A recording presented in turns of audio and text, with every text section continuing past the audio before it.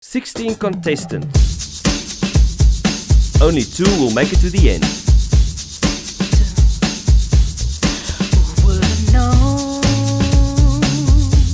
the rain and the sunshine. Show them. Ooh, baby, baby, built up these walls of mine. I actually do modeling. And I can't see you, breathe you. I'm a small child. I always knew I could marry. You know.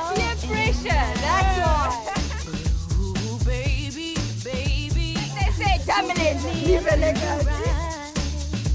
We put them through their paces. They had to strut their stuff, pose, and use all their brain power, and dance to the soundtrack of Chicago. I entered because I'm building my modeling portfolio. And I don't know, I think it's going to be a great experience. I'm enjoying it so far.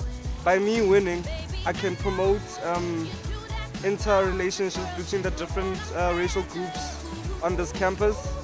Well, we're more mostly in for it for the fun and to enjoy everything. There's quite a difference here. hard work, teamwork.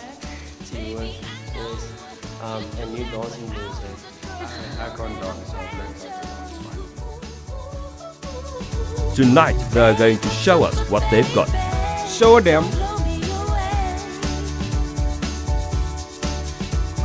Who will be the next Mr. and Miss Damelin?